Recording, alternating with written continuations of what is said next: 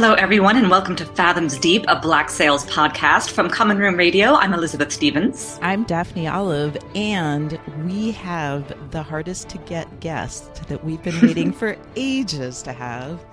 Welcome, Luke Roberts. Thank you so much. How lovely of you to have me over. The funny thing, I got scared for a second that I was going to do some combination of your name and Woodes Rogers because we did that so many times by accident. So many edits.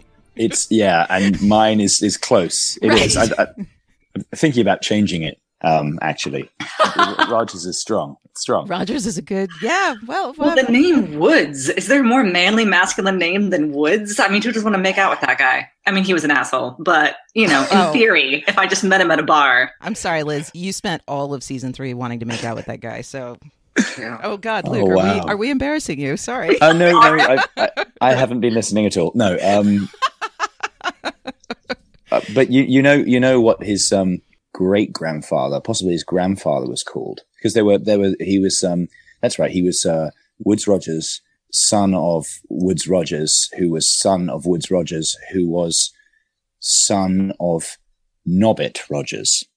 Oh, that's so good! I good. was not ready for that.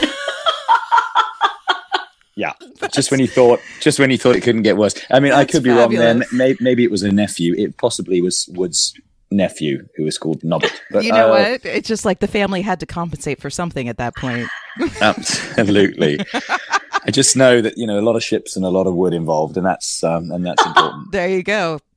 Good. So we've got off to a sophisticated start. Yes, we have. That's amazing. And it's funny because our kind of not sophisticated start relates to what my first question was going to be. Because I'm pretty sure that Hannah said that of everyone, you might be the person who did the most research about your character. Um, Um, so tell us. Gosh, that was that was that was that was generous of her. That was kind of her. Um, She's a sweetheart. Yeah, oh, she is. She's a, she. I have noticed. She's she's absolutely adorable and lovely to work with. Um, hi, Hannah. Um, so uh, I sounded a little bit like uh, Alex Sakharov there. I, I went a bit deep and went, "Hi, Hannah." Yeah, but, um, and- I'm yeah, sure she'll be fine with that. yeah, yeah. um, yeah, I, I guess I did. I mean, I, I, I try and. I mean, I've been fortunate to play um, a few historical characters of late, and um, you sort of, I suppose, you do have a. There's a there's this, a, a duty of care, isn't there, when you're sort of playing someone who really lived and breathed, and and so you Mm. feel, oh, I, I better give a fair portrayal. I mean, it won't necessarily be truly accurate because it's a, a while ago, and all we have is a few sort of um, uh, stencils of these people. Right. But there's uh, there's historical accounts, and I, you know, I yeah, basically, I just uh, gorged myself on on Woodes Rogers material, and I, I remember when I, when I was cast going through this stuff, and it's quite dry historically. The the, the or rather um, historical records of him are quite dry, um, and yet it's sort of uh, an incredible. I don't know, almanac or, or chronicle of, of, of feats. He did so much. He did was so sort of one of the much. yeah, he did so much. He was one of the first circumnavigators and of the, the world, and um, No way. it, it, and he obviously he was um he was the inspiration for the Robinson Crusoe um story, Defoe's um classic novel, and he was he was the captain who rescued Alexander Selkirk, who was a who was a Scottish um uh, seaman who had been stranded on the island Ferdinand something. Um, I've, I've obviously researched this so well, I can't remember the names, but um. Well, the Yeah, funny thing is that uh, actually comes up in an episode uh, we're going to release soon that Liz wasn't there for. But I talked to Natasha Simonova, who is a literature professor, and she talked about that as well about Woodes Rogers, which I love. Ah, So yes, Yes. that stuff you said with the Robinson Crusoe, she said that. I don't remember the specifics either. so he is um, quite or was quite quite a man, and obviously he had um, his uh, his youth as a privateer, um, which is sort of you know a, a, a government commissioned or a crown commissioned um, pirate essentially under the British flag. So he and you know with a I, I guess a mandate to knock off any foreign vessels in time of war, particularly the Spanish, because they were always at war with the Spanish, uh, occasionally the French. But um, yeah, so he he was an incredible sailor and uh, captain and you know entrepreneur and th- really the list goes on and it was kind of fascinating to get under the skin of him and and uh, and read about it and i guess i drew my own conclusions as i went along and thought this guy was you know i think they were just generally a hardier lot back then um you know life was um just tougher, maybe cheaper. But um, he, uh, yeah, he'd, he'd done all these in, in, incredible things, and I, I, but I sensed he was fairly brutal when required. He has a right. he has a very English manner in the way he writes. Um, it's quite spare because, as he suggests at the beginning of his um, cruising voyage around the world, um, where he documents all these um, skirmishes that he had with the Spanish. And, I, you know, um, it, it is a, a, little while ago, but I, I think he came back with um, nine, nine Spanish vessels. Um, I, I, I, could be wrong with the number, but, and his own two original boats. So it was, a, by all accounts, it was a massive, massive success. And he was a war hero. He was a national hero. And um, yeah, it was just kind of amazing to, to read all this stuff. But I sensed that he was quite, he, he would have made some very difficult decisions. And there was a brutality I suspect, and you know, I obviously don't know this for fact, but in and amongst these sort of dry lines about what he had achieved, I, I thought there's there's more to this. And um, of course, I get introduced in the show as uh, you know a, a very uh, civilized, um, reasonable mm-hmm. diplomat. Yeah. Um, but I, I was sort of intrigued by the possibility. And of course, you know, you're only given the material you're given. And it was very rich, the dialog mm-hmm. Um, you know, John Robert and Dan um, just don't do anything by halves, and it was just I- incredible. And um, so, but reading between the lines, their lines and the historical lines about the guy, I was like, "There's there's something else going on here," and um, and that I sort of wanted to mine, and I suppose, um, or at least I, I, certainly attempted to suggest that that there was a hardness and a sort of a uh, almost un- unstoppable determination um, mm. to meet his own goals, and um, and unstoppable is is quite a formidable and quite frightening prospect, really, um, especially when you have the wherewithal and the means and the you know and the, and the money. And I mean, he he he just yeah, I I, I had notions that because I, I read that um, I'm going to call this the wrong thing, but it's a, I think it's a, a pagoda or a proa or a pagoa or anyway somebody you know um, probably our, our, our, naval advisors will, or our, our um, nautical advisors will, will get in touch immediately. But there was a Filipino um, ship that he spotted, and it was a, a, effectively uh, an early catamaran. Mm-hmm. And he saw the design and he saw the speed, and he actually, I think he deconstructed it and put it on board his boat and reassembled it somewhere else and took the design because he was like, you know, this is this is an Im- impressive um, craft. And so that he, that he, had that sort of entrepreneurial spirit. He borrowed all the best ideas. And I had this notion because I started learning, um, the Filipino art of, um, uh, Kali, which is sort of like a two stick fighting, um, fight really. Um, and, mm-hmm. uh, very cool. And, and so I thought, well, wouldn't it be fun if we incorporate some of those moves? Because rather like the ships, I, I imagine he would have, sort of observed how effective it was um, and and maybe borrowed it. And so I, I was I'm, I'm going all over the place now, but I I remember speaking to the stunt team and saying, wouldn't it be fun to have sort of a, like an Eastern signature move for this guy, something with a bit of a not not a terrible not a typical sort of English um, naval fencing technique, but something else, just mm-hmm. something a bit exotic. So um, you know, they they allowed me to incorporate that, which was that's so cool. cool. Yeah, I mean, he's just he, he, there were a lot of influences, and he traveled the world, and he'd seen right. more than most had. Um, so I, I, guess to answer your question, um, yes, I did a, a lot of research. no, this is. I mean, that's so interesting. I kind of, I I did not do that much research. I've read um, the the Republic of Pirates. That I read mm. that. Yes, that was that was the extent brilliant. of my historical research for podcasting. No, but that's that's. I think that's the best. I think that's the best one. I read a, a, few, and that one. Yeah, it's just sort of gripped me. Yeah, sure. it's just yeah. really well written and fun, and gives you it enough is. information about each historical person. No, but what's interesting to me, you saying this after we. There's one thing that Zach McGowan said when we interviewed him not so long ago, where he talked about how, um, and I guess actually Hannah touched on this as well, but Zach really talked about how how for Vane, like he didn't even know, like even Charlestown was like this huge thing for him because all he had ever known was Nassau. Like Nassau was civilization for him. And so him in relation to Flint, this was this interesting thing that like Flint had come from the larger world. And so Vane saw Flint up until, you know, and basically up until Woodes Rogers showed up as kind of the representative of civilization. And mm-hmm and Hannah talked about that in relation to Eleanor, that Eleanor like lived in this crossroads that everyone came to. Everyone brought things there from the around the world, but Eleanor was, you know, that's all she knew. All she knew was Nassau. And yes, so, absolutely. So, if anything, it's really interesting to have Woodes Rogers. You know, if you do a spectrum of the characters in relation to how much of the world they understand, like Jack, obviously from England, and God knows, probably from the Caribbean, like from her backstory. Um, that Woodes Rogers like so much above and beyond everyone else. Like Flint was a naval officer, so he probably also did stuff, but probably not to that extent. No, quite. I love that you put that into the fighting style. And Toby Schmitz had told us that everyone kind of had a specific kind of character driven fighting style.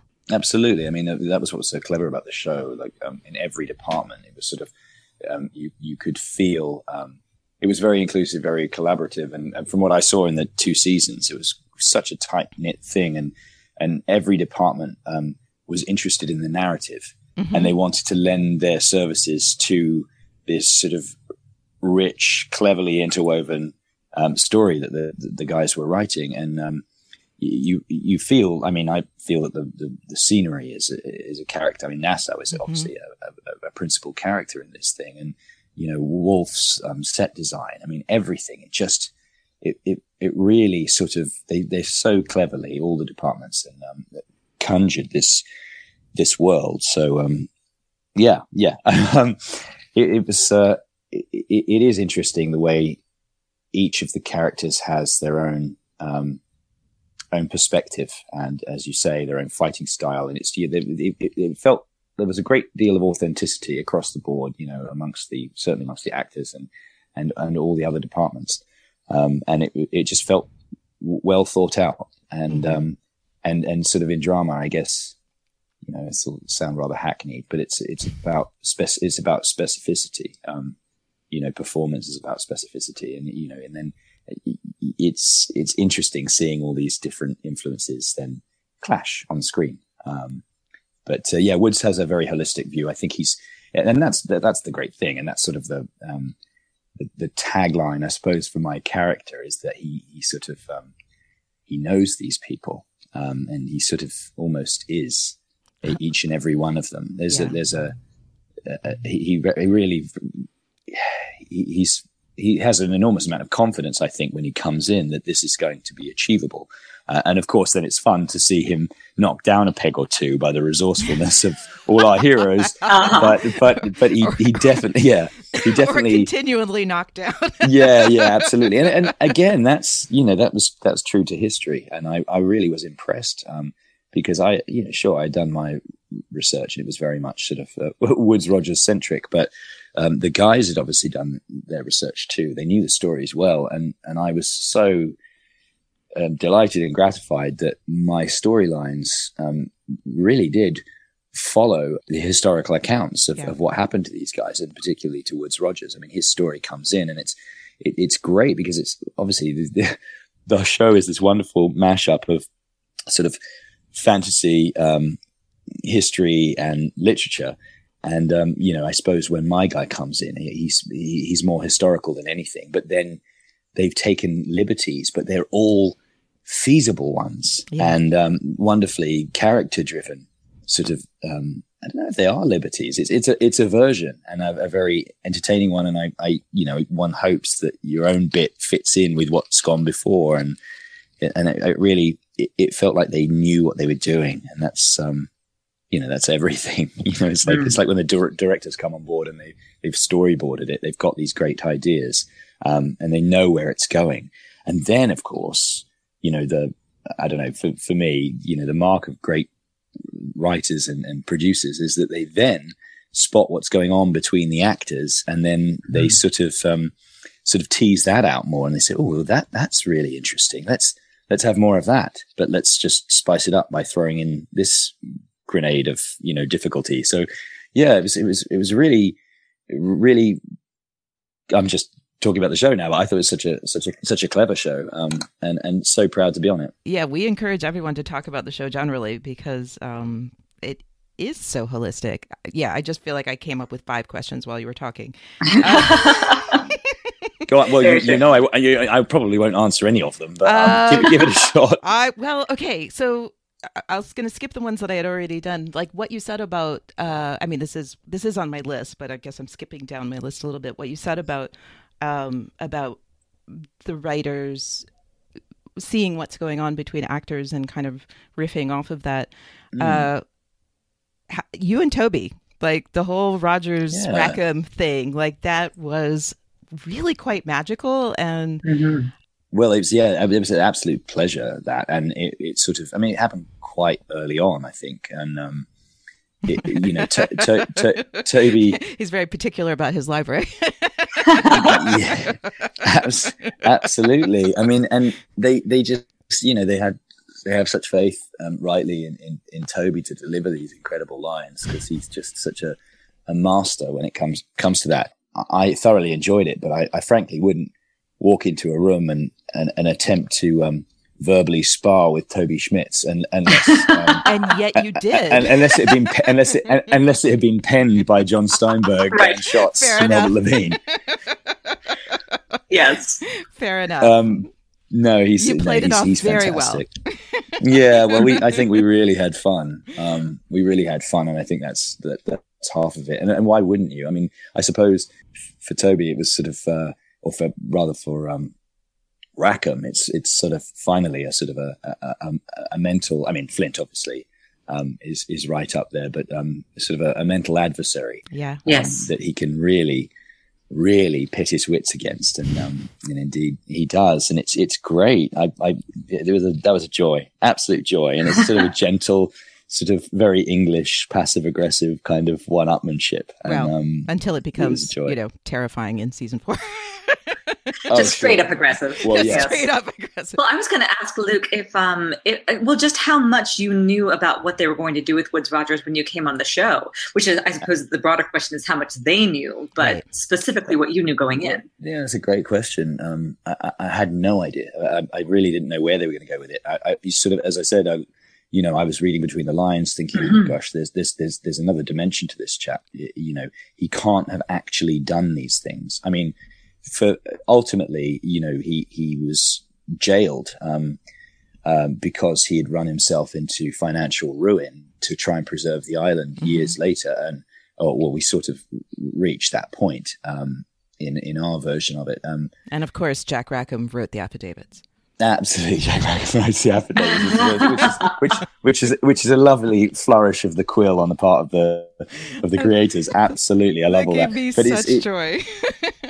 but it, yeah, it just yeah, I mean, just brilliant, just brilliant, and um, and really um, played very delicately by Toby. I thought, and mm-hmm. you know, mm-hmm. could have been sort of really um, he could have done it in a gloating manner, but it's just it's just delightful, and we all sort of relish it with him. But it's I was, I was just going to say that um, this guy was um, liberated from jail by the king himself, you know, after a petition was made, hmm. and he was sent back to the Bahamas to govern the island, you know.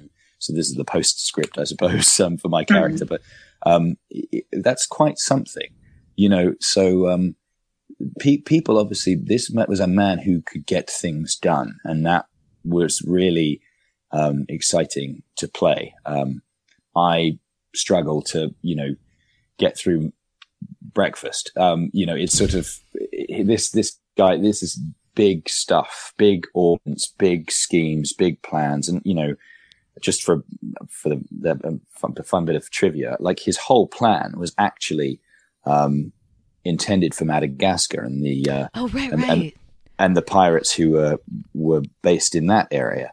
Um, and he took it home as a proposition. Said, "Listen, I can I can clean this up, and we can regain it and have it as a as a great stop off, a great trading point. And um, it was the East India Company, the big corporation of the day, that um, that kiboshed that, and they stopped it um, because they didn't want a rival sort of um, port uh, trading sort of mm. stop point. So so he was like, okay. And he was just very quickly quick to adapt and took the whole plan over to the Bahamas and said, well, I'll do it here instead. And of course, then he met this uh, colorful collection of characters who were not the complacent pirates who were ready to s- snuggle up um, to the uh, the empire again. And um, so, yeah, he, he took his plan and um, applied it to a much uh, much more resistant uh, crowd of uh, rum swellers, swillers, swillers, swillers, swillers. Yes, I mean. Yeah. Yeah, I don't know what swellers would be exactly. Um, yeah, there is an irony. there is there is an irony that in Black Sails world, Rogers seems like basically a person following up on someone else's great idea, when in fact it was Woodes Rogers' great idea. yeah. well, he... that's that's it. I mean, they, he, yes, he is the he is the empire, isn't he? He's the right. he's the face of. He's the he's the personification of the British Empire and everything that's wrong with it um, and that, that imperialistic drive. But I, I, think actually, you know, he was an entrepreneur, and I think right. that, that, sort of I suppose that helped because it, it, it, helped to play it because you you know you can't play I am the representative of the crown, but you can play somebody who's on a personal mission, and you know you hmm. invent and you read up and you sort of create or, or, or glean reasons, personal, deep, emotional reasons as to why you want this to work. And um, that was kind of cool because it, at the beginning it was sort of rather abstract concepts like why are you here? Well, I'm my character is there to to sort of um, reinstate commerce, mm-hmm. and that's that that's not very playable. Uh, you know, you you can say it, but there's no meat there. Yeah. No, no, but but of course there was great sort of uh, underlying meat because it was it, it, meant so much more than that. It was about civilization itself. And that's what's so great about the show. Everybody's got their own interpretation of how the world should be formed. And, um, yes. um, you know, and, and, in, in the, um, in the, uh, the person or the, the island that is Nassau. And so it's sort of, it's re- really, really exciting, interesting political, philosophical, um, sort of questions are asked in the show and everyone has a slightly different answer and it's it's kind of cool seeing where there's overlap between I don't know maybe woods's character and Jack Rackham and Flint and Woodes and you know um, all of them. They all have a, a different take. If only they had banded together and and and and done it you know in a in a wonderful um, collective manner. But of course then we would have mm. no drama. Right. There would have been no story. No. And there's no way that show Woodes Rogers. I feel like we have to now delineate. Yes, I was just thinking that because I had a question in my head and I was like, I have to make sure that I right. say exactly which one I'm referring so, to. yeah. So yeah. yeah. there was no way for show Woodes Rogers uh, to anticipate what Flint's state of mind would be. Uh, which I think is beautifully illustrated by how many times he said Thomas Hamilton to him during that meeting. he just kept saying it over and over again. I know. Well, I was, it's, it's, it's interesting because because that obviously, like, dude, he's twitching. Don't you know that when Flint twitches, you're supposed to stop saying something? yeah, I found that that's that scene. I, I mean, I, it was um, you know, it was a joy. It was like such a a, a, privilege to work with um, Toby. I like I've admired him for years, and it was it was really cool. And um, well, when you shoot it, obviously you shoot it um, many different angles, and sure. and and I I I was playing um, a, a, suggestion, but I was I was trying to make it enigmatic as to how much I knew mm-hmm. uh, yes. about their relationship. That worked. Yeah, came across. Yes, well, huge huge Twitter debates over how much. how yeah, much but but Woodes they, Rogers they, knew. they, yeah, absolutely. And so it's it, but but the way you know they way they edit it. Um, they didn't, and I think absolutely rightly, they didn't dwell on me for that, for that. And sure. it sort of made it more, even more sort of, um, questionable and more mm-hmm. enigmatic. Mm-hmm. And of course, you know, I suppose there was that other guy in the scene, Toby Stephens, who was quite good to play some of the, some of the drama off. He's, he, he he's all time, right. From time to time, you know, he hits the right beat. I will I'll give him that. I'll give him that. Luke Arnold told us that you all used to talk to each other about staring into Flint today. Was that your st- big staring into Flint moment? Yeah. Oh, yeah. Staring and, and getting getting lost in those baby blues. Um, we know how you feel. Dan, Dan, yeah. Oh God, yeah. Dan, Dan Shotz would say, um, um, uh, he well, Dan Shotz always liked this because I was like, um, we, you know, I shot a lot of uh, episodes before I got to that point, which was kind of nice to spend time before you to earn the right to do the scene with Toby and um, mm-hmm. so, so, Toby F. Stephens, uh, as I like to call him. Um, I won't, I won't tell you what he calls me, but uh, oh well, now you have to. I'm sorry, you you actually have to. There's absolutely no way I can say those utter those words on on radio or in a podcast. I am so curious. yeah, now. we do have an explicit rating. Goodness, Daphne. It's so it's No, so no, wrong. You it's really right, don't. but you really don't have to. no, I won't. Oh, all right. No, no, I'm good. I won't. I won't. But um, he, he, he uh, D- Dan loves the story because I, I literally, I, I, I again, I, I can't really use my own language here. There's there's so much territory which cannot be uh, charted, and, but it was um, it was that just that moment of seeing him jumping out of the boat and, and walking up the sand. I was like, Jesus Christ, you know, there's that's Flint. It's absolutely terrifying you know, with all the with all the you know the acting chops that that Toby brings as well. And hmm that that day, I was actually slightly fuzzy because I um, we were doing this uh, quite rigorous training at the time, and I was Oh. I think I think it was the adrenaline from. I was doing ready for a drinking story. No, Most of the days where the actors were fuzzy were drinking stories. That's usually what we get. Well, there's some of that too, I'm sure. But I, never, Hmm. I think this is I think this is half a sleeping pill. I'd never taken one before, and I was like, oh, Oh, wow, God. I'm sort of a little bit fuzzy. But the um, yeah, no, it was it was it was uh, it was a great day, and Rob Bailey really looked after us, and I think I'm I'm delighted with that that scene. It's such- such a cool, you know. Um, It was Uh, gorgeous. It was a Yeah. gorgeous Yeah. scene to Yes, watch. Absolutely. oh, good, good, Yes. yeah. It was it was certainly it was certainly good to do, and um, Mm. yeah, I'm really pleased with how it came out. And it's sort of one of those heat moments, isn't it? You've got the sort of uh, two counterparts, um, you know, gently challenging each other and Mhm. re- re- Yes. reassuring that they will, um, reassuring the other that they will, um, you know, slit their throat Yep. if they step out of line. So it's kind of, um, yeah, it was really cool. It was, it was great. Is that a reassurance?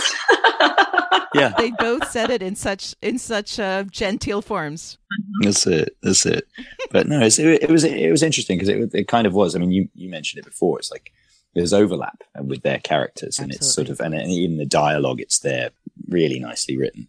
Um, the, the fact that um, you, you know that, that that Woods is a sort of a an earlier version of of uh, Flint, and um, and Sure. how- yeah, and, And, how Flint is an earlier version of Woodes Rogers. Woods, Woods Yeah, and Rogers goes down that road in season four.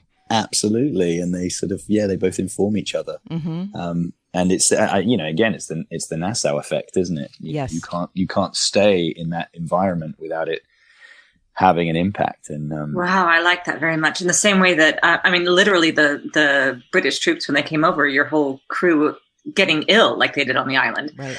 That's right, and, it- that's and if sort it- of and it- speaking to the infection that that Yeah. happens in Nassau. Yeah. it's yeah, it's sort of a contamination, isn't it? And if, Mm. if and and only the strong will survive. And in fact, yes. in fact, it, it goes one step further. The the ones that do survive, you know, are brutalized by Right. it, and and the, you know, Wow. sort of these, and we have in season four those sort of super soldiers who are, you know, they're they're they're inoculated from the local diseases, but they're They're also inoculated from their humanity. Right. Yeah, Yeah, they're exactly. readers. Yeah. It's interesting. I was just having a conversation with one of our listeners. Um, hi, Laura. And uh, when we were talking about that, like talking about Nassau as a frontier and how, on the one hand, a frontier is a place that allows for people to do all sorts of wonderful things outside of the strictures of of civilization and that's you know kind of the depictions of sexuality and things like that that you see yeah, then the flip side, the thing that makes it so interesting is they didn't let us just go into that fantasy of like the frontier is freedom, but also this flip side is that the frontier also becomes a burden to all of the characters. I mean, in season four, I felt like everyone was saying, damn it, this place is like destroying me. hmm I mean, Mm. Anne in particular, but you know, it's like she was the one who was kind of most self aware about it. Oh, and Eleanor, actually. We'd have to. We have to have a little chat with you about that. okay, I look forward to that. um, so wait, I had a question before that though. So you were talking a lot about. I thought it's fascinating that you wanted to. Yeah, I maybe Liz and I should totally fess up. I mean, our listeners know this. Like, we were super, super enamored with Woods Like into you? Yes. Yeah, in season three. Well, you're very nice, was- Luke, but it was Woodes Rogers. We Yeah, were very yeah. excited about Woodes Rogers um, treating Eleanor in a way that we felt like other characters hadn't up until then. Like that Woodes Rogers seemed to respect her more than than in a way that she deserved, and that nobody had really been giving her up until that point. Mhm. Absolutely. I mean, obviously, you know, H- Hannah brought her her her own personal charms to it, but it, it which you sort of are, are unavoidable. Um, and but it's I guess Woodes Rogers was true. I, I, saw him as a sort of a resourceful man, and mm-hmm. so, and he he um he didn't miss a beat really when it came to identifying useful assets. And um, certainly, yeah, I, I know you're. Nah, it's just uh, my choice of words is terrible. Yeah. No, no, um, I mean it's totally true, and it's a world full of very pragmatic, smart people, so that's totally yeah, appropriate. absolutely. So you know, there's, there's, there's a lot of exploitation that went on, but um, yep, it's uh, yeah, and and that's it. And careful, Jon Steinberg's going to beef with you. He beefed with Lauren Sarner about their relationship. I really. I'm so interested in this. No, keep talking. Yes, keep talking. Sorry, I interrupted you for a joke. Well, it's yes. obviously, it starts as it starts as one thing and and, and evolves into something else. The the, the respect, um, you know, and the intimacy and and and what the, mm-hmm. close proximity and um, you know, it's very very hot. Um, hot costumes that they all wore and um, you know um, uh-huh. but it, it, it's sort of uh, no, at first, obviously, you know, we've, we've, we've seen the show. So it's, um, yeah, as you say, these are pragmatic people and, mm-hmm. um, they use what's available to get advantage. And, um, she was, um, critical and, um, yeah, so that's, I mean, obviously, uh, it evolves romantically, but, um, initially it was very much, um, she was the, she was the key to unlocking, um, you know, the island. Yes. Did you know early on that they were going to pair Woodes Rogers for a romantic counterpart to Eleanor, or, or did that surprise everyone? Um, I well, I, I, I tell you what, I only had two scenes that I auditioned with, and it was the um, mm-hmm. um, the first scene uh, that you see uh, Woodes Rogers in, and oh, I um, love that which is obviously, yeah. obviously a scene with with Eleanor with Hannah's character. Yes. and the the other scene was the um uh, was the uh, on board the ship when I'm sort of um, pointing out the other vessels. Uh, yes. Woodes Rogers is. And um, the Willing and, and, Mind. God, yeah, that's a great name for a ship. It's so good. I'm sorry. Yeah, it is. And, and and firing that warning shot across um, Hannah's um, or rather Eleanor's bow. By the way, these uh, mm-hmm. nautical metaphors uh, they go on for years. You can't shake shake them off once you start. Um, they, they really do. But um, it's so yeah, that those are the two scenes. So I, I, I deduced from that and the fact that Hannah was um, uh, asked to come in and do a chemistry test with me. Well, oh yes. well, yeah. So I, okay. I, I, was like, aha, maybe. Yes, I'm no dummy. I know just, what you're doing. Yes, just just maybe. And so yeah, that that was the only heads up I had on that. But um, it was mm-hmm. uh, I, you you asked me before, and I didn't really give you a sufficient answer. But the um, did I know where it was going? No, I just hoped um, that the writing would stay at that quality. And I, I, I hadn't watched the show at this point. So, and, and I had these speeches and they were just phenomenal speeches. And I thought, gosh, if it stays at that level, um, and they investigate this character, um, this could be really, really exciting. And I have to say, mm. you know, we all know, I'd like, just hands up, like they did it. They, they kept, it kept getting better and richer yes. and deeper yeah. and more layered and yet well thought out. And these, I mean, that was for me one of the, um, challenges, I guess it always is, especially when you join a show halfway through, is how do you enter a scene where there's all these sort of um, fully fledged characters and come in as a as a whole human yes. um, who, who has their own backstory, and um, that that is that is the challenge to come in sort of all guns blazing and, and, and you know confident in your own skin. So Unfortunately, I was aided by the the cast and crew who just made me feel so welcome. I, honestly, there's no the experience is sort of second to none, really. Well, uh, and you had of, to play a character who was so carefully uh, constructing his own image of confidence throughout. Yeah, absolutely. We we had a lot of theories about the scar. Right. Oh, okay. Yes, I I mean, I guess this is the moment where I just compliment you for a second. Like your performance is incredible and I one of the things I most appreciated about your performance is that I feel like um, you do an amazing job of of adding all of these subtle gestures that speak volumes to what the character's doing. Um, there are moments that just really floored me throughout. Um, a lot of them in the keel hauling episodes. We'll have to go down that road. uh-huh, um, but yes, but we we just very... just keep talking. This is lovely. Thank you very much. well, I can I will get into specifics. Um, I mean, one of my favorites actually, well, two of my favorites in the keel hauling are um, the way you use your hands. Well, actually, it's all about your hands. The way you use your hands. Um, the It's way all you. about your hands, Luke. Yeah, No, you're doing my job. Liz, I'm sorry. I'm sorry. Professional. Go ahead. that was a very serious comment. I'm sorry. It was. I ruined it. I'm sorry. I'll go back to drinking my wine. No, you made it. You made it a million times more funny. Luke, I'm I'm famous for blushing during the podcast, which I am now doing. Um, so well, you yeah, because because of the connection. I'm, you can't see that I am, but I am. Okay, okay, Liz, you made both of us blush, right? Yes. I win. so um, yes i'm going to say specifics now Okay. um, th- the way you waved off the, the person who was who was treating your wounds um, Mm. the that i mean the, clearly the director was understanding how amazing your hand motions were because there's that close-up of when you told them to start and there was the close-up of your hand just so subtly uh, initiating the horrible horrible keel hauling Yes. Um, but my Mm. favorite thing is after it's hard to say favorite things. Like you have not listened to our whole podcast so you don't know how terribly upset i was about teach.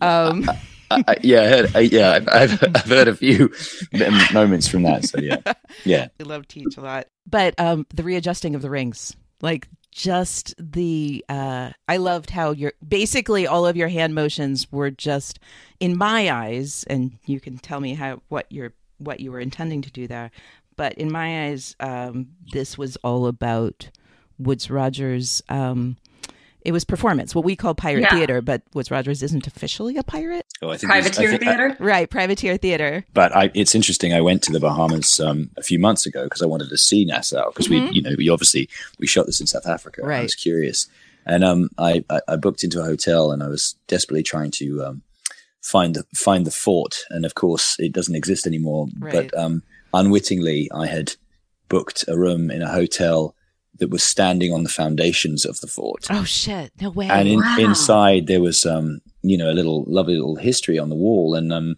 and uh, the bartender came over to me as I was reading you know the little um, historical sort of um, tidbits and um, he he just went through the faces and there was Teach and there's Mhm. Vane and there's various others and, and he just went pirate pirate pirate and when he got to Woodes Rogers he he hit it um, with even more violence and said pirate I don't oh, care I I don't it. care that he was the governor, and he didn't know what I did for a living. I he didn't it. know, and and he knew. no- I was like, "This is that's incredible," and he's bang on. So cool. Okay, I love So, that. um, yes. yeah, All it's and he's as much pirate as any of them, I think. So I will call it pirate theater because we Go loved throughout the podcast to talk about pirate theater. But my impression of what was going on in that scene was that Woodes. I mean, all in all of season four, we Mm. have so many characters trying to demonstrate power Right. and demonstrate power through revenge.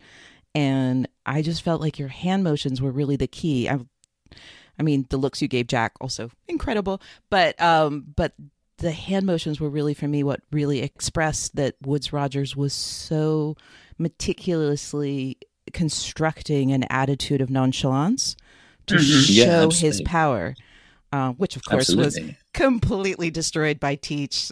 Not sorry about that. Teach Sorry, went no, sorry. messed Yeah. up your little act. did. No absolutely. It's a, absolutely a, a, a theatrical a pirate theatrical device. Yeah it was um to, to show that um i have you know the character had all the time in the world and uh, was going to draw this out and a consummate you know had consummate control. So yeah that's that's what it was i mean part of these things are sort of subconscious. You you do them because they feel right. Um Mhm. you know, I, I, I write a hell of a lot of notes on my scripts, but I, I, I, possibly wrote adjust rings on there, but you know, it was something just to say, you know, um, I don't know, it just, it, it, the whole thing, there was, a, there was an inevitability to it and I wanted everybody to watch it. And of course, as you say, um, it, uh, it's theatre that goes wrong and the audience turns against Mhm. the, you know, the, who he thinks is the, uh, is the lead actor in that moment. And, um, yeah, the, the, the, spot the spotlight shifts. That's Um, true. to- to our- totally stole your thunder. Yeah, he steals he steals the show. He's it's a scene stealer, Yeah. and he doesn't even say anything. Um, but it's uh, yeah, no, absolutely. Well, I'm I'm glad it worked. I tell you what was really um useful for all of us on the day was um, uh, Roel's um, uh, playing of um, orchestral music. Actually, it was sort of a, a, a bit of choral stuff. Um, really? the- Wow, while by- you were doing it?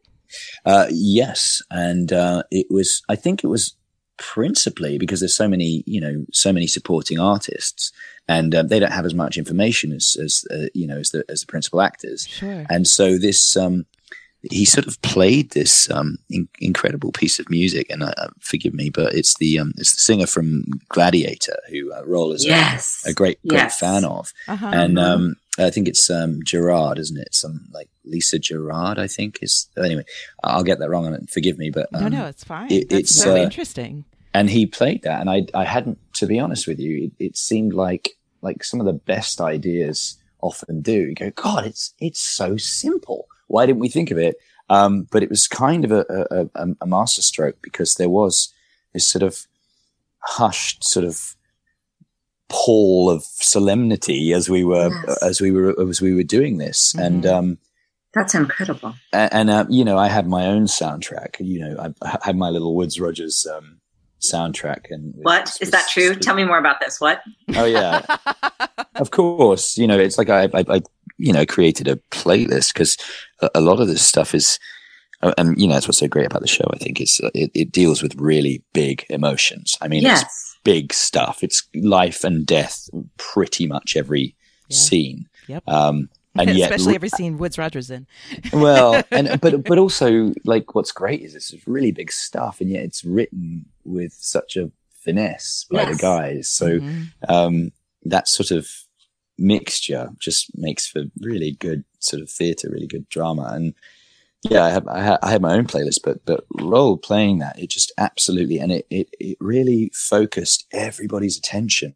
And we were, everyone was wrapped by the music because it's sort of Yes. transcendent and, you know, it's so emotive, um, music, especially, you know, classical, the classical end of things. And, um, it was just, it was really, everyone was feeling it. And, um, and it, it, it was, it was a great experience. Um, and, you know, it was three long days. And I, I think it, it was the first time in a, in a while where, on a, on a side note, it, it sort of, it does brutalize you playing those kinds of scenes. And, um, I found myself quite, I just like a, a strange, I had a very strange sort of mood descended on me for that week because when you, if you spend a week, um, killing someone, it, it, you know, it, it, it has an Brutally effect. killing someone. Yeah. And it just, it, it takes you No, to it quite, does, of course. yeah, it's quite, it's quite a dark place. So, um, you know, and then you, you shake it off and you have a, a, a rum and, um, ginger beer with, uh, with Luke Arnold and everything's all right again. But, um, it's, uh, yeah, no, it was, it was a, a really, a, a quite an important thing. And, you know, hat off to Ray Stevenson as well, because, you know, aside from all the prosthetics and, um, it, it, it was, um, it required a lot of patience uh, on his part, and he, he, he was, you know, an absolute gent um, doing all of that stuff. And it really felt like we were all connected. I mean, obviously, hadn't worked with Ray at all Oh, um, right. Yeah. until that point. point, and um, you know, you're thrown straight into that. And it was emotional, I, I think, for him too, because he was very proud to be part of the show. Um, Mhm. He thought it came out really well, and and so you know, these are difficult scenes. Mhm. Um, but it all played into it really. Um, and, and yeah, I'm very proud of how it came out and Roel did a superb job, um, coordinating it all. And, you know, Toby and Clara, it was a joy. It's Mhm. my, that was, that's my only scene with Clara. And it just, um, yeah, it was, it was a really nice way to tie it all in together. And, um, and obviously a bit of a gift for, for an actor like me to, to have that scene. But Oh, no, it's amazing. I mean, I also love, I mean, yeah, they're just, I can't believe I'm saying I love it. Like, I did actually complain on Twitter that I was about to watch it again after having sworn not to ever watch it again. yes. you're I- glutton for punishment. uh, yes. Although I kind of want to say to all the listeners, like, damn, it's a good, it's a good scene. Like, I watched it no, many is. times. It's, it's very well done. it's amazing. And having, um, I think it's about 15 minutes long too, isn't it? It's, It's a quite long long. um, It was arguably a little too long, but yes. Right. I could have done without the actual scraping under the boat part. That is the part that I could have, but you had to understand, like, people didn't know what keelhauling is. I Um, didn't. I right. wouldn't have gotten it without that. I needed the Right. And I Yeah. I live near the I live near the water. Like our Right. barnacles are an everyday part of life for me and not for many people. So like for me, I get it immediately. Like I've been scraped, not on my whole body, but you know, just a toe on a barnacle is bad enough to ruin your day. Um, so I get that stuff. But yeah, no, Yeah, they had was- to do it. It, it- also- yeah, and uh, it, it was. I thought that the sound actually was just really evocative because it, it was very cleverly planned out that there were sort of th- th- three I usually- versions. I usually listen with headphones. That was the one time I regretted. Yes, Which is a testament to how good it was. But it was really good. I also like. I'm enjoying the. I'm just thinking about it. I'm just enjoying the sort of like uh, the bittersweet irony that it was Roel who is uh, you know Dutch director, and it was the Dutch Navy who invented uh, keel hauling. Oh Really? god! Wow. Yeah, I believe. I believe that's. Oh, no, sorry, they didn't invent it. It was actually the Greeks who came up with it. I think it's that originally. old. It's that old, but Yeah. the Well, it Du- makes the, Du- the Dutch. Navy actually employed it, and Right. it's kind of. I don't know, and it's weird the way they all employ. uh, They all talk about it as a punishment. I'm just like, that's kind of certain death, isn't it? Rather Right. than a gotta be. It's Yeah. gotta be. I mean, right. The whole like going three times thing, not so realistic, I think. Um, I also, I mean, it's also an amazing scene because essentially it is just the most amazing and shocking continuation of the conversation between Woodes Rogers and Jack Rackham. Like it's just, even though they don't actually speak to each other, um, I mean, and, and that's particularly on your side. Just I, I love how Woodes Rogers is doing this thing, but in, in in a lot of ways, it seems like he's doing it at Jack. Oh, Um, yeah, absolutely. That, that that's I think the performance is really for him. Yeah. It's to it's to teach him a lesson, and it's interesting because there was a there was an exchange between the two of us. There was a, a, a verbal exchange between us um, that was scripted, and it and it fitted. Oh, but I think I th- I think they made a really good choice, um, just to you know skirt around it, and um, because it, it it really is. I mean, you know, some of these um, really violent scenes play much better. Um, Right. You know, in in that sort of vacuum, that sort of um, sound vacuum, and it was it was just clever, not well, to yeah, because this felt this felt very much like an answer, you know, the the unspoken part of the carriage scene when Woodes Rogers says there are things you leave out of your book.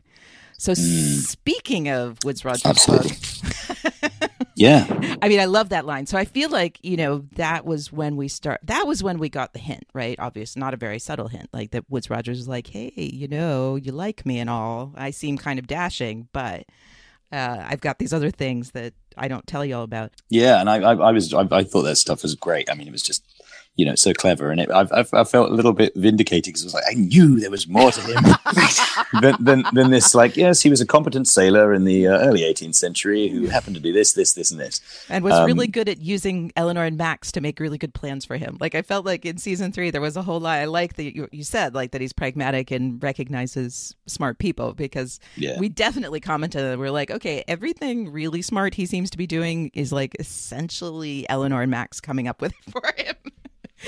Yeah, no, absolutely. We should leave this whole thing to the ladies. I mean, it really was, you know, kind they- of they- a theme of the show.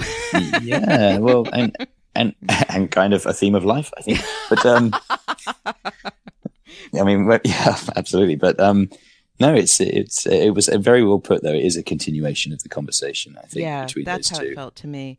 yeah Um, it is So I, we had a question. There were two questions actually about the that part of season four. One was actually when he shot Teach. So I think Liz and I Mm. disagreed about the shooting. Initially, yeah. I also didn't watch it as many times as Daphne did, to be fair. Daphne watches it like four or five times before we would do each show. And my thing was kind of that I would come into it fresh. So there was some of it that I just didn't catch the first time. Well, I think also you wanted to still like him more than I did. I was did. re- I was fair. ready to flip to yeah. to accepting Woodes Rogers and his darker side and you were like no no no he's still like there's still redeeming qualities about him and then you know right. and it was thanks before liz we thanks liz And You're well- so welcome, Luke. I was always on your team. Yeah, Yeah, and then he went and then he went to Havana. So seriously, like sorry. Luke, you're a lovely person and Woodes Rogers is sometimes interesting and nice. But so what are you what, what are you saying nuestros países están en guerra uh what? What am I saying? I was, I, I, was just that was a little that was my little blast of Spanish. That was Oh. the, I was saying. oh, right. Which you learned for that, right? are you Somebody saying- told us that. You learned Are you that saying from- that our countries are at war? Is all I'm saying. Uh, yeah. I don't know, sweetie. You know, a a husband who knows his wife's deepest, darkest nightmare and then inflicts that on her. Not a great husband. yeah, he pushed the he, he, he, he pushed the he pushed the button, didn't he? Um, he and really I think that's. It's like, hey, I don't like what you're doing. Let me just reenact the, your childhood nightmare for you. Well, yeah, it's it's sort of part it's part petulant child, isn't it? Who who refuses to lose, and Yes. but it's also that thing, like uh, you know, talking about how this this guy was um uh, that he was the right man for the job because, and I think you know Mhm. historically he was, and obviously uh, in the context of y- you know our show, he he sort of is. He's the guy who will go further than the other one. Right. and um, as a result, you know, he, he gets a sort of a, a temporary and incredibly hollow, miserable victory. Yeah. Um, so you know, I, I, I love all that stuff. I think no, I do too. I think it's so clever, and of course, you know, then there's uh, that's a that's a just not winning. continuation. He's not winning any husband awards. No, that's it, and and and, and by doing that, it's sort of a, a terrible continuation of of their sort of um, lovers' tiff. Really, it's Yeah. their bickering and they're different um, to to the same thing, and um, has tragic consequences. Basically, the message is never cross the ladies. Just Yeah. don't do it. Yep. So yeah, so back to the shooting. Like my reading of shooting him shooting Teach was that he had constructed this beautiful theater and Teach wasn't was, you know, upstaged him basically. And so the shot was like, I'm done. I can't deal with this anymore. Like this isn't working how I but what so what's you what was your reading of the shot? Well, I, I think he's um, he's aware that the, the again nautical metaphor the tide has turned against him, and um, he he needs to put an end to it. Um, it it's uh, you know he, he he feels public opinion um, turning against him, and it, it- he wants to shut that down. Yeah. Wh- Whose opinions then specifically did he feel turning against him? Oh well, everyone on board. I mean, his own men, His own men, his own crew? Right. Glances, yeah, his own crew, his own soldiers.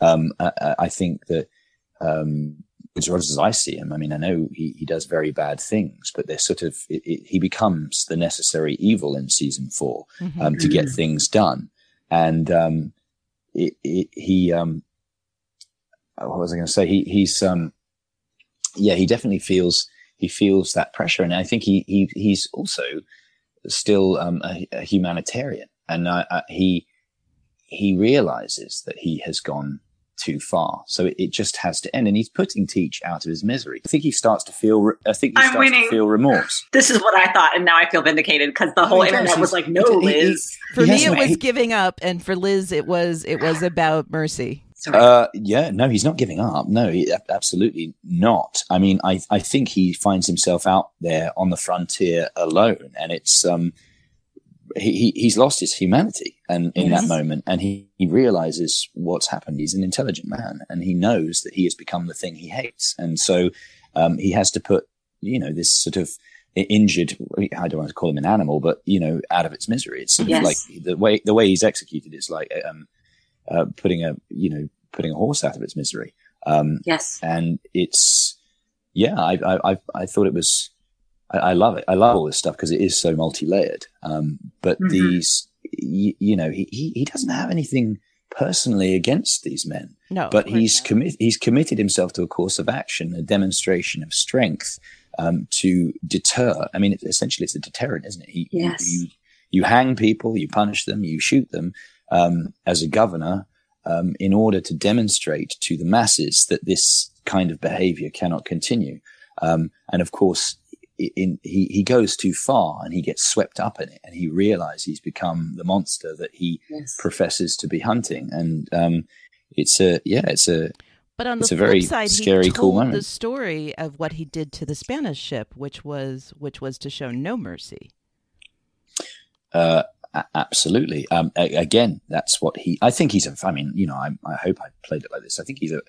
He's not afraid of it, but he is aware of you know his own demons, his inner Right. demons. He he he is he is a he is a violent man. He's capable of great violence, but really only when spurred onto it by um, you know, emo- an emotional scenario. People who are close to him are threatened, um, whether it be his brother who is killed or his wife whose life is hanging in the balance. And um, that's when he has these uh, sort of monumental outbursts of aggression. Mm-hmm. Um, it, it's never, you know, it's never just sort of um, war as a you know a, continuation of um, diplomacy by other means. It's it's it's not it's not that simple. It really is when when his heartstrings are you know um, affected. That's that's when he goes all out, sort of um, nuclear, if you like. Mm-hmm. Wow, this is so um, fascinating. Like he really is a parallel to Flint, more so than I. I mean, I think back then I was really seeing him as a parallel to different characters, but if anything, I'm starting to think that you know, in season three, we're introduced to Teach and we're introduced to Rogers. Those are the new characters in season three. And I always right. thought that it was really significant that we get both of them at the same time. And now that I'm thinking about it, right, and then of course, you know, this you have this showdown between the two of them in 403. Um, yeah. And I, I, what I remember thinking at the time that it was really interesting that you know in the cold open at the beginning of season three, what we get is Teach, right, and we have I had this whole theory about their cold opens that they like to subvert whatever we thought we learned last season. Like all the things we kind of got comfortable with in the season before, they subvert sure. in the cold open.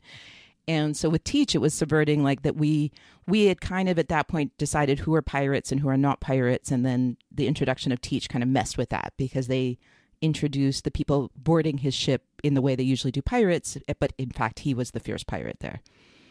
And the interesting difference between two of them is like you start out thinking that Teach is the you know he's Blackbeard. He must be the you know the crazy, unreasonable, um, you know, dangerous person that we can't predict. Mm-hmm. Um, and then Rogers seems the really reasonable person who can be so smug and so and so reasonable and thoughtful and pragmatic. But then it this does get completely flipped is that it turns out that yeah. Rogers is actually the one who's much more like Flint, that when emotional can become super, super dangerous. And Teach, you know, he has the one emotional tie to Vane, which does tempt him to be to be not smart when he's trying to get revenge. But ultimately, mm. like I feel like Teach is actually one of the more stable characters of all of them. Yes, absolutely. Um, yeah, I, no, I I agree. Sorry, it just like this all just kind of fell into place for me. But the thing that I started to ask about when I got distracted by by your use of your hands as Woodes Rogers is the scar. We had I think this started with one of our listeners, um, Kim. Hi Kim. This idea that you were maybe using the scar that you were perhaps using um, which side of your face that you were showing at different moments that the scar like that the scarred side and the not scarred side kind of represented woodes rogers duality? Oh sure absolutely. And and that's you know i mean history gave us that. I mean the man had the scar. So he is sort of a, a you know a, not a latter day but a, an earlier day um, kind of two face he has mm-hmm. uh, two dimensions and um, there is a, there is a dark side to him, and I think you know it's testament to the, the terrific work of the DOPs, um, you know, David Luther and Gavin Struthers, that um, that they, they they found great ways to uh, illuminate the appropriate side.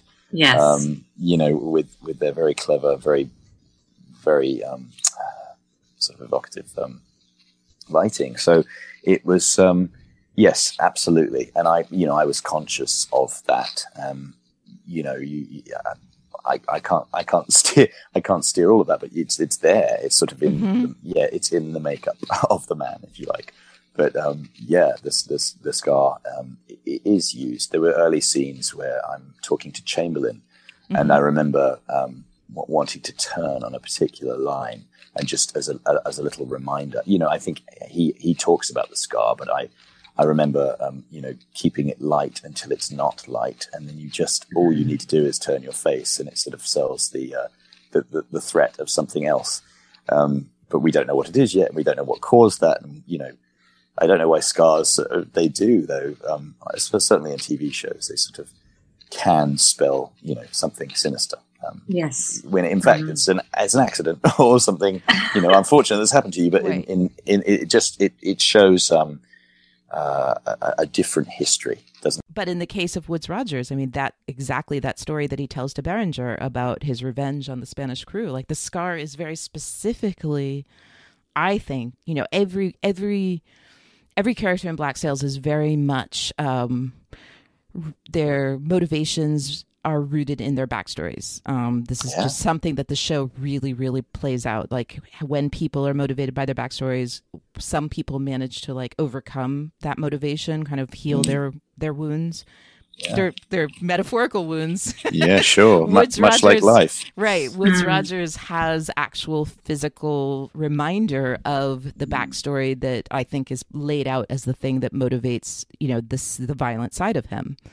Um, and so I love that. I, I love that that all of you made that choice and that you were yeah. very consciously doing that. It's it came across that way. We just never were sure that it was. well, that's great, isn't it? If you were never quite sure, and I think I think that's um, one of the interesting questions um, that we were all asking is, um, you know, has has the island brutalized um, Woodes Rogers, or actually um, do we just after time see the mask slip and find out who he really is. Yeah. Um, mm-hmm. so, it, and and there was a, an interesting question for me, and an interesting question for the the writers and, and everybody, and and of course the um, his opposite number, the the the, uh, the anti-heroes of the show, the pirates. They they're not sure either, and it's sort of we we're all learning more and more about these characters as the as the stories continue. But yeah, it was definitely.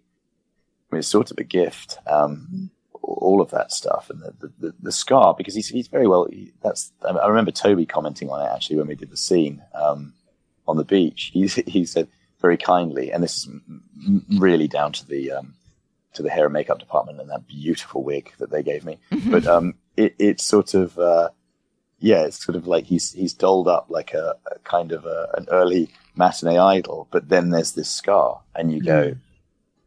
oh he's yeah he's that that guy, but I don't. I, yeah, we're not quite sure who he is, and you, you, know you've hit upon that, and I I rather like that. Um, and it's uh, it's when you're un, under intense pressure, you sort of learn a lot about people, don't you? Yes. And um, and I, I, yeah, but I did like that it was a it was always a um, you know these these barbaric acts were sort of not just a demonstration of force um, in order to enforce the law and in order to deter people from doing bad things, but actually they had um, you know, uh, an emotional foundation. that came from a, a, an emotional place. Right. And I, I, think that's that's what's great about it because these guys talk about these lofty concepts of um, democracy and you know on board the ships and on the island. Um, but when it boils down to it, um, people act according to their hearts, don't they? And um, you know that's it, it, was great to have all those all those dimensions, and it, it ma- makes it very much play more playable. And I'm glad it was you know not fleshed out is the wrong expression because, but just they, you know, these guys were writing human beings, yes. and um, yeah, right. it's really good. It's really fun. Yes, there's yeah.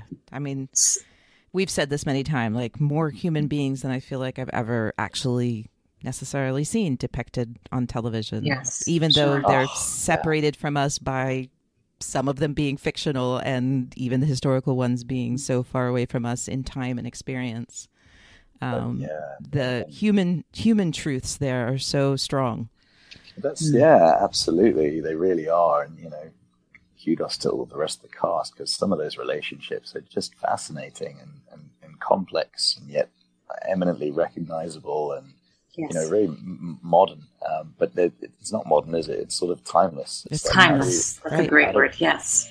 How yeah. we relate to each other, and it's really yeah, it's a, it's it's great. And, um, I, I love there's an article about the um, uh, the d- depiction of um, you know sort of all, all these the different varieties of relationships, and I think the show does that so yes. well. That was that was that article was our friend Lauren, who's been on the show quite That's a few right. times. She's amazing. That's right. It was Lauren. It was Lauren. It was brilliant. Yes. It was brilliant. Yeah. So, Luke, did you have an opinion one way or the other um, about which was true of Woodes Rogers? If he did lose sight of himself as his time in Nassau went on and began to unravel a bit, or if it was a mask slipping, if that was his true self all along? Um, I, well, I think you know we. It, fortunately, you do sort of. He's not just. It doesn't come out of nowhere. I mean, we, mm. we do see where it's coming from. Um, I, I just rather like the fact that there's different dimensions um, to him. And um, yeah, I'm not sure I've ever answered it for myself. To be honest, it's mm-hmm. Um, I, I, think it's a combination of the two. Um, and but he has he's a man of like fierce passions. Let's yes. say that. And mm-hmm. Um, Eleanor, you know, is his is you know his, his everything, and uh, his brother. You know, we're all familiar with these tropes, aren't we? Like family and your loved ones. That's right. you know. Um, but I, I didn't. I know I didn't walk around. Um, I certainly didn't go through season three and season four thinking, "Oh, I can't wait to, you know, show that I'm actually the devil." Right. It, I don't think he is. I think. Um, I think he. Again, he was almost scared of it, and I think there's yes. you know this this great contemplative moment when he's um, considering his book. Um, oh, right. Before, that was the other question. He goes off, right? And because he because he he knows what he's capable of, and I think it's. I mean, I I I can only compare myself to it. Like sometimes when you walk in the dark, I I have this notion. Oh God, I'm going to freak myself out now, and probably um, you. But you just. I mean, I, I think I think it's fairly common. But when when you're scared, I kind of try and um, visualize, envisage myself being more frightening than the thing I'm frightened of. Mm-hmm. And mm-hmm. and I think when Woodes Rogers is when you know in the character in the in the show is looking at his book, it's like he's steeling himself and um, you know galvanizing himself for the fight ahead, and because he, he, knows what he's capable of, but he also knows it's rather like you know the kraken. You, you once you unleash it, it's sort of uh, you know by definition out of control, and right. so I think he's he's considering that. I certainly was sitting there, you know, trying to summon those thoughts, and and I was thinking, you know, uh, th- this is that moment where you have to become that thing that you think you've locked away, um, and he, yeah, it's it, it's very dangerous, and um, you know, obviously you can't share that with Eleanor. She's going to worry, and and um, mm. also she wouldn't like this person because it's yeah. not the person she's fallen in love with. So, yeah, I, I, it, it, was the, the book, and I think he's. I mean, you know, I love these references, and it's sort of the the, the guys did a great job in the carriage scene. So you know, um, there are certain things you leave out of the book, uh, otherwise you wouldn't be invited to, to parties. I think I changed it to dinner parties just to make it even more sophisticated. But they, did you? Did you? Was that a, was that a bit yeah, of ad lib? I, I. I embellished that word. Um, I, I think I got away with it. Um, the guys, I think you guys, did. The guys are, are pretty. Um, I don't want to say prescriptive, but they, they write such brilliant stuff. That yes. You know, it, it, some jobs it's a case of filling in the gaps, and in, in, in this instance, it's about rising to the occasion. So I'm mm. like eternally grateful to those guys. Well, it just it was brilliant stuff. We do have to congratulate you then because we were aware of how few ad lib moments there are in this whole four seasons. So if you oh, managed yeah. yes. to slip a word in there, well done. well, there you go. But um, no, it's, no, I'm so glad you brought that up because I mean, we had definitely talked about in that episode had talked about the fact that Woodes Rogers was looking at his book his book, I mean, books are characters in this show. Like books are so important as language between characters, but Woodes Rogers' book in particular ends up being something that so many different characters interact with because Madi also holds it, mm, and that Woodes Rogers and yeah. and Rackham talk to each other about it. Um, and yes, yeah, that's that's that's right. And you know, it's, it's a really good um, connective thing. I think they did it very well. Yeah, very clever yeah, another another one of my favorite of your minute moments was in the carriage when when Jack starts telling his story, how you uh, didn't close your book but you marked your your place with it with your finger. I'm, I'm, glad you noticed that. oh my god, I loved that so much. That was the most subtly dismissive thing I think I had seen in the whole show. it was amazing. Yeah, my, my, focus still on, um, on, and I don't know. I had some notion. It was like you know my, my story will continue. I can come back to this later. You, my friend, cannot. Oh, shit. of course. That was that was sort of what was going through my mind. Um, oh, but uh, you know, it, and I, I, hope I hope a, a mild, a, a, teeny tiny dose of uh, irritation at being interrupted as well. Absolutely, like, no. Okay, you... you're, you're, clearly not going to let me continue reading. Um, to to pass the time. It was brilliant, and then also cool. the fact. I mean, then the direction he took the conversation, where he's like, "Dude, seriously, don't be so proud of yourself. Like, I almost had you." So yeah, yeah, the back and forth of that. Just, ah, It's just a glorious scene. It really, really is. It was good. It was good. So, it just always working with Toby is a joy. It's a joy. He just raises the, you know, I, I, I swear I, I, I, get more intelligent when I'm around him. Um, I, think, I, think, everyone does. It's the process of osmosis. I'm just like, right. yes, I think that I think that is the actually the natural state of being around Toby Schmitz. Yeah. Um, or sometimes blushing. Um, so I think I did that too. yes, if you would like a good laugh, listen to our episode with him. Um, so let's let's talk let's talk a little bit about um, you know we talked about Woodes Rogers like what affected him before Eleanor's death, but let's talk about those few episodes afterwards. I mean, that for me was the the super like that was kind of the topping on i'm trying to think of a metaphor and i'm not coming up with a good metaphor but like that was that was the best part of the parallel to flint. Like he was kind of like you know i could kind of say oh well he's a parallel to flint but not a parallel to flint but then you know the whole it felt to me like you know i lost my love and now i just want everything to burn.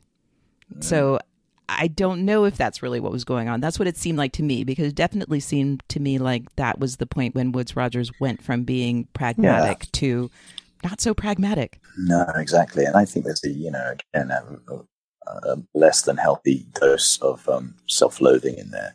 Yes. Um, so, yes. you know, he sort of wants, he wants, I suspect there's an element of he wants to be at the center of the fire. Um, mm you know, and, and go down with it. It's because all, all is all, all, is lost. Like he's spiritually broken, um, and everything that he was doing it for um, is gone. And, you know, yeah. he's lost his cause, and all he's left with is the sort of, you know, the the, the charred. Um, shell of, the, of, the, of his ma- mansion. Careful with your word choice there.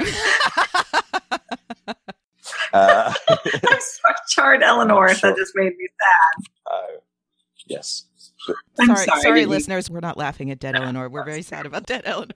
That was that was phenomenal. That was phenomenal. That the, the fly on the, I mean, just on on the glassy eye. It was just incredible. Oh my god.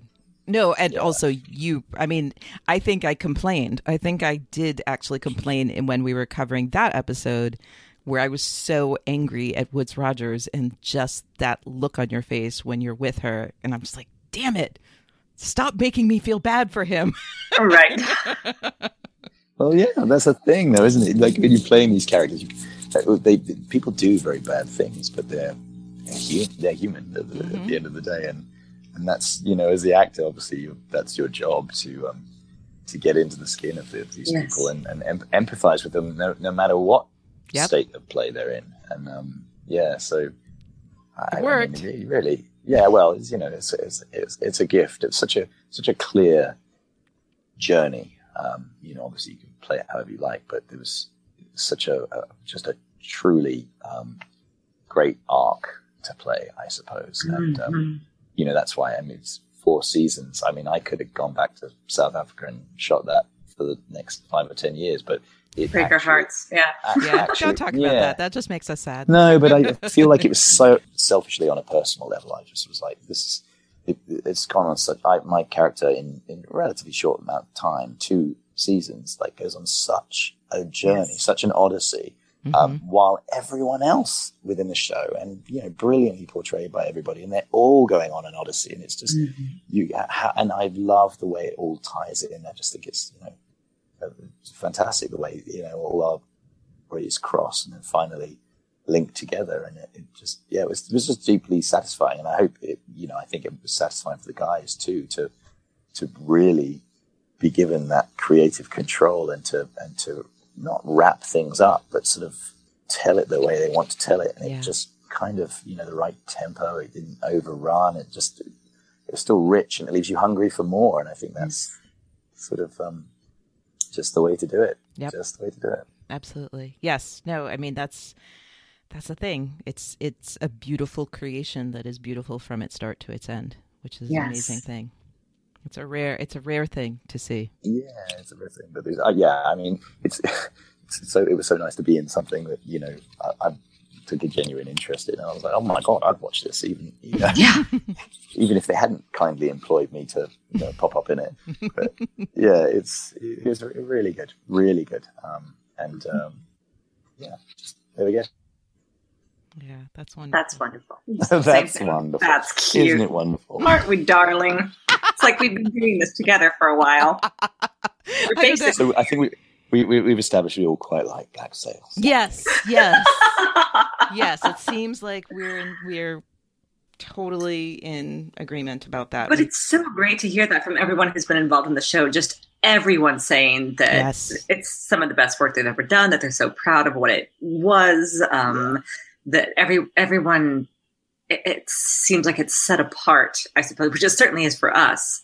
Um, but that's gosh, that's Yeah, just was- gorgeous. It, it, you know, it really was like to see all of those people, the dedication from everybody was like was Mhm. really impressive, and um, you know, it spurs you on to, to bring your A game. Um, That's what they said about you. I hope you know, Luke. yes, That yes, Touch- no, touch and fire. they I- did. They did said very often. Yes, we heard over and over again how much people respected your process and your Mhm. work, and that if you were in a scene with Luke, you better know what the shit you're doing because he does. yep. oh man, that's funny. I like that. That's it, Uh, Liz. I think like our our new hobby should be- just be transferring compliments from some of the actors to some of the other actors. It's very good. Yeah, no, they talked very much about how much you wrote notes in your scripts Yeah. and how incredibly Yeah, prepared and very thoughtful. yes, I've we had did hear that. 17, 17 years of teasing for writing on my scripts. They, they're these weird, like dog-eared, coffee um, stained, sort of um, that. ta- tatty things that everyone's so tempted to throw out. 'cause they Oh, look like they- man. yeah. It's- Can I it's- it's ask you time, some of the things that you that you would write in your margins and in your scripts? What were the things that um, I'm very interested in the process in general? Um, I, I, I'm gosh, Is that a very All- personal all- question? No, not at all. No, very it's personal, actually. no. I mean, some just like you know, try not try not to hit Zach again. Um, things like that. Try not to wait. When did you hit Zach? Oh yeah, we, we we we hammered each other in that fight scene at the end of three. I Um, love it. Mhm. Yeah, we did. I I, I, I wasn't wasn't revenge honest. Um, yeah, I, I I caught him with the. I mean, you know, it's a it's a rubber stick essentially. The, Right. The, piece of the um the uh, the wheels um, spoke from the carriage, but it was actually got it's got a metal rod in the middle Oh. of it, and obviously, you know, I um. Uh, don't, don't you don't make full impact. You kind of retract it at the last minute. Right. Um, but of course, there is some contact, and um, Zach's pretty pretty tough guy. He's like pretty extreme, pretty tough guy. Um, sweetheart, as you know. we Um, do. and but it was it was a great it was a great honor to work with him um, and to, to do a like a, such a physical scene with him because he's you know he's the consummate professional and he, he really invests in it and like nothing's crazy enough for Zach. So we you know it was kind of fun hammering him with uh, um, with that with that rubber spoke, but um, yeah, Uh-huh. catching the same spot because necessarily you have to for continuity and. Right. Um, at one point, even Zach cried out, "Don't hit me again!" We got another Zach McGowan impression. Luke, you have now, we did not prompt this. You have now continued our run of every single actor doing a Zach McGowan impression while being interviewed. okay. I love it. I know There we go. Thank you. Yes. Thank you for that.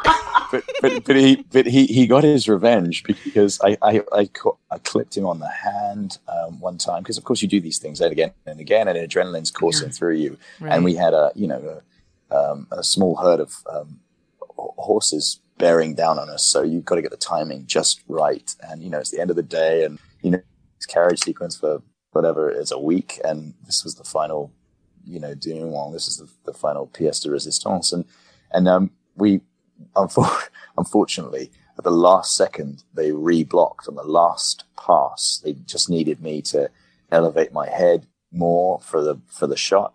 And um, we all agreed that's what we're doing but we hadn't rehearsed it and um, Uh-huh. as a result um, zach punched me in the face on, on the last on the last uh, on the last take. But i've never i've never seen anything like it the way he sort of like sort of to me after we've been oh my god. He's like all over it. it's, it's such a sweetheart but um, hmm uh, yeah we, we we we had a good time. It was good. And um yeah, I can't really remember what the question was, but oh, it was about you write what notes you write on your scripts. oh yeah, so yeah, it was don't, don't exactly. We'll hear about you know you and Zach McGowan coming to fisticuffs anytime. It's fine. Yeah, we're we're totally yeah, totally no, okay with that. All, all, all sorts of things. I write everything. I don't, you know, I was, I was asked. I just did a film um, in the UK, and they said, "What's what's what's your process?" And I was like, "You know, I don't know. I learned a bunch of stuff at drama school. I've learned more on the job, and I just sort of pick and choose all the best bit, mm-hmm. like action, um, a line, what I what I what my intention.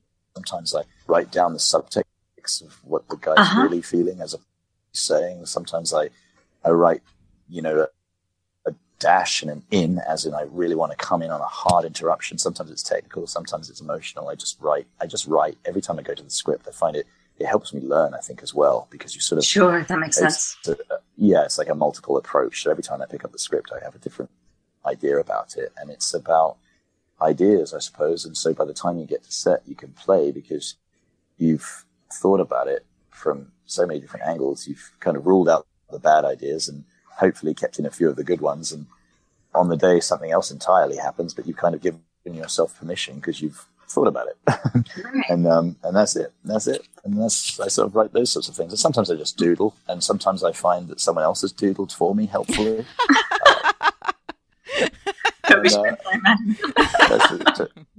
Toby Schmitz is like just such a beautiful artist as well as oh everything. My goodness. What, an, what an annoying what an annoying individual. Right, um, seriously, right? I know. Yeah. yeah. Well, he's also coming. Luke Arnold, kind of annoying. Oh yeah, yeah. He, oh yeah, he's terribly annoying. He's so yeah. annoying that um, I went out for drinks with him last night. He's that ah. annoying.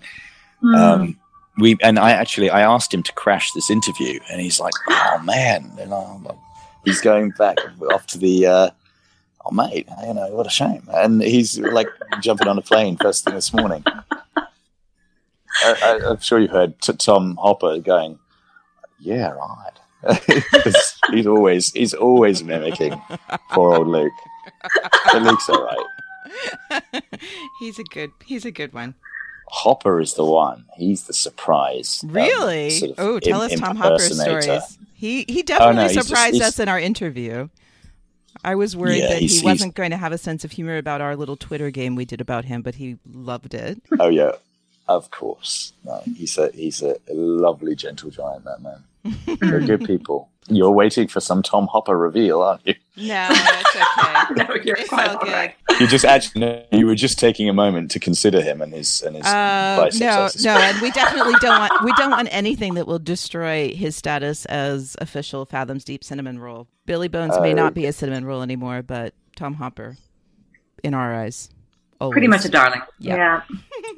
Yeah. yeah, yeah tell us tell us what you've been up to since Black Sails. I have seen stuff on Twitter, but I've not watched stuff on television. Will you tell us about what you've been doing? You did just talk about a movie. Do you want to tell us what that is, or other stuff? Yeah, sure. Very quickly. I mean, yeah, I, I just I did a. Um, I dipped into a comedy over in the UK. I've just I don't know what genre it is. It's sort of a femme fatale. Let's call it a, a, a bunny boiler flick. Um, but it's my kind of favorite kind of caper. It's one of those sort of reminds me of those, um, you know, things like Fatal Attraction and stuff like that. And it was a mm. really lovely cast. Um, I sound like such a lovely, really lovely cast, but they were really great actors that I was working with. It, it was an independent film, so it wasn't a huge time commitment, um, and which is good because it, actually everyone's very busy, and I'm I'm going off to um, uh, Hungary um, in about just over a week, but two weeks um, for six months to do season two of Ransom, which is a CBS show that I that I head up, I suppose, um, and which is about a, negotiating team and you know thoroughly enjoyable and a, a far removed from you know um, from Black Sails, but it's uh, yeah, it's it's it's it's super cool, and I'm so I'm excited to get back on board that. I really want to see that. So that's six months. You do that for six months at a time. Wow. So wow. it's a little bit faster than um, the way we shot Black Sail. But mm-hmm. uh, you know, there's there's there's there's techniques and galleons and um, you know sharks, and so you know it, we, we can afford to take it go a bit quicker. wow! And you shoot that? Did you shoot that last yeah. season also in Hungary, or this season will be in Hungary and last season was somewhere else? it was in Toronto. Uh huh.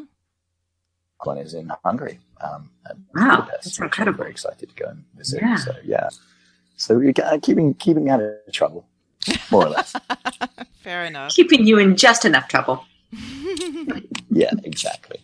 But um, yeah, no, I, exactly. I keep I keep I keep reconnecting with um with uh, all, all, the pirates. So um, you know, there's there's still trouble to be had. we were yeah, we were, we were quite a tight knit bunch. I'm, yes. I'm very pleased to say. So that that goes on. That goes on. Which, yeah, that sense of community has carried on after the show. It's yeah. really great. Yep. Yeah, it absolutely has. Yeah, it's it, it is. I think it is a rare thing. I mean, you do as you go through. You know, you, you do make connections and, and form relationships and friendships, and and uh, one or two sort of carry on, and and and then. But with this one, it's like it, it's just amazing.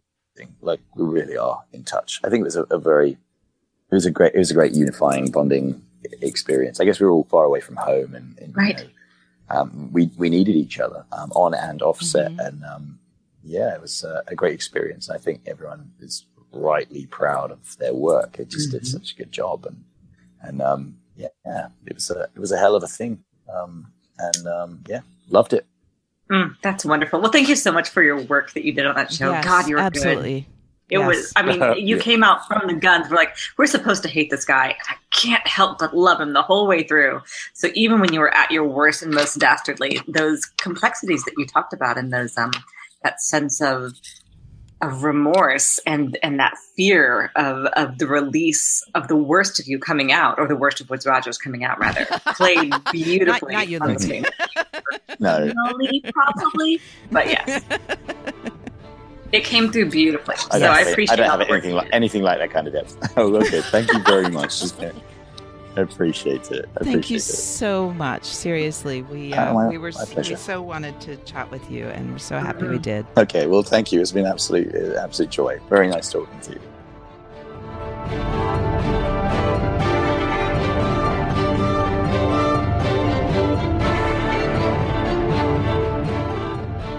Is a Common Room radio production. For more information and access to other programs, please visit us at commonroomradio.com.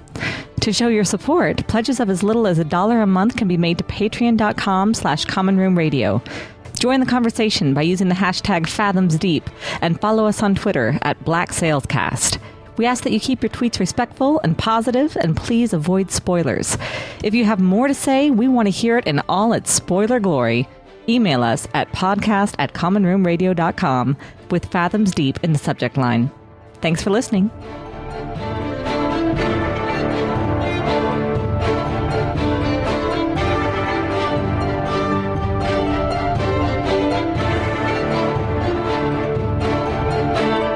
Sorry, Luke. Now you get now you get to hear me Good be bossy because I'm the yes. one who edits this thing. That's what that's why I get to be a little bossy when yeah. about recording. I like that. She's my captain. Uh, yes, I guess so. That's what everyone keeps saying. I don't know. you like it. I don't think you guys are supposed to flirt with each other. I think it's uh, the guest. Oh no, think- oh, no. oh no, that is an essential part of our podcast. Good, good. or I've been doing it wrong this whole time. this is really i don't know if you know that this is very entertaining for me because every time one of you laughs it cuts to that person's um, image yes, yes. and then it, it's so it's swinging back. So it's like a wonderful symphony of laughter and it's cutting back and forth between the two of you. It's really kind of it's very entertaining. Welcome to fathoms deep